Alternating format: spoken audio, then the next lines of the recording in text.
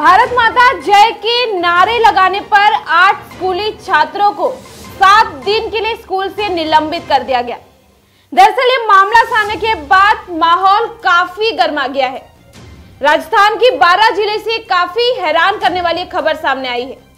BJP कार्यकर्ताओं ने school प्रशासन पर छात्रों को तुगलकी फरमान के ज़रिए निलंबित करने का आरोप लगाया है। बीजेपी कार्यकर्ताओं का यह आरोप है कि स्कूली बच्चों को भारत माता की जय बोलने से रोका गया और उन पर कार्रवाई करते हुए स्कूल प्रशासन ने नोटिस थमाया और सात दिन के लिए आठ छात्रों को निलंबित कर दिया। इसके विरोध में परिजन विद्यालय पहुँची और जमकर प्रदर्शन किया है। इस पूरे मामले में अनता विधायक ने भी विद्यालय प्रशासन को फ़ोन किया और बच्चों को निलंबन वापस लेने की बात कही है। एमएलए ने सवाल किया कि भारत माता की जय बोलने से बच्चों को आखिर क्यों रोका गया? बुधवार को सुखदेव सिंह गोगा हेडी की हत्या पर राजपूत समाज और श्री राजपूत करनी सेना के सदस्यों सहित पूरे कस्बे में विरोध प्रदर्शन कर जुलूस निकाला जा रहा था। और ये जुलूस जब स्कूल के समीप पहुँचा तो कक्षा नौ में पढ़ने वाले छात्र, सभी छात्र, भारत माता की जय के जयकारे करने लगे। और इसी में यह आरोप है कि भारत माता की जय के नारे विद्यालय प्रशासन सहन नहीं कर पाया। और आनंद फानन में सभी छात्रों को नियमों के उल्लंघन का हवाला देते हुए पत्र जारी कर दिया। इस पत्र में अभिभावकों के नाम जारी कर लिखा गया है कि आपके मालो पुत्र, मालो ने विद्यालय के नियमों का उल्लंघन किया है और इसे साला से सात दिन के लिए निलंबित किया जाता है।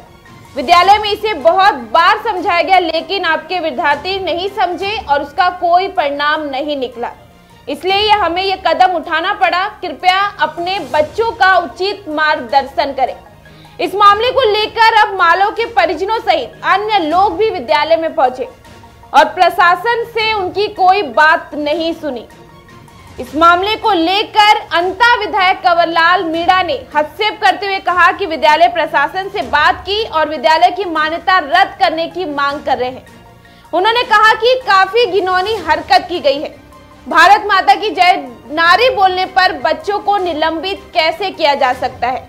निलंबन से पीड़ित छात्रों ने जिला शिक्षा अधिकारी माध्यमिक बारह को पत्र लिखकर गुहार लगाई है।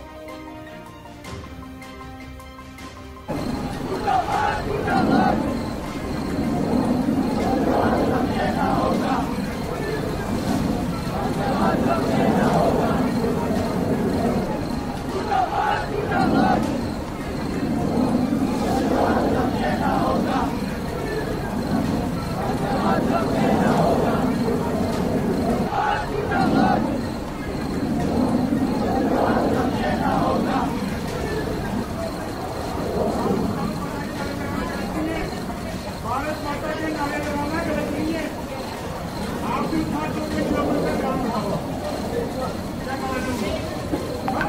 तो ग्राम लगाओ आप बताइए बताइए मेरा। भाइयों तख्तिक मालो मेरा ना गार्डन उसका, मैं मेरे को बताया उसने। मैं गार्डन उसका। कितना नाम है अरे, ये कोई बात नहीं है अपने भारत के नारे में। ये कोई मतलब स्कूल भी पूछता है, पाकिस्तान का स्कूल लिखा ये? स्कूल में स्कूल में प्रार्थना लगाते हैं ना। स्कूल में प्रार्थना बुलाते हैं तो भारत माता की लगाते हैं, लास्ट में। पाँच सात बच्चे और हैं, उसको अकेले नहीं हो। उनके फादर भेज दो और कारण यही है कि उन्होंने भारत माता के नारे लगाए। यही सही है। आप गलत बोल रहे हो।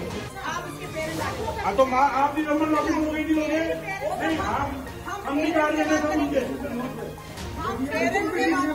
नहीं, आप नंबर नौकरी हो गई नहीं लोगे आप नंबर नौकरी हो गई नहीं लोगे